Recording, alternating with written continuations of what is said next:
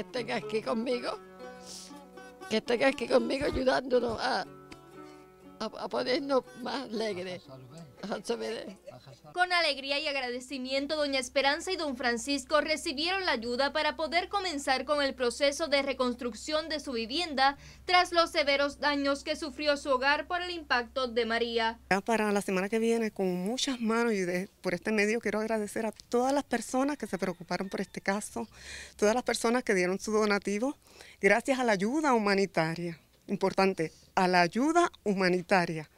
Esta casa se va a reconstruir a su vez, el programa Abrazando Puerto Rico, que se compone de voluntarios del Banco Popular, visitaron varios sectores del barrio Callejones de Lares para identificar y brindar diversas ayudas. Esto dividido en varias fases. La primera fase es limpiar escombro este, y dar un poco de, luz al ambiente que todavía, como pueden ver, eh, es como que el huracán todavía está aquí y ya una segunda fase estamos tomando medidas para ver qué necesitan de techo este, paredes y que necesitan más en la parte física, dando de nuestro tiempo, de nuestro cariño, de nuestro amor. No solo somos banqueros que sabemos de números, también sabemos dar mucho amor. Esta pareja llevan juntos sobre 40 años y en el caso de don Francisco lleva toda su vida en esta propiedad. Sin embargo, no cualificaron para algunas ayudas por falta de escrituras. La esperanza era la necesidad de escritura. A ella FEMA la visitó.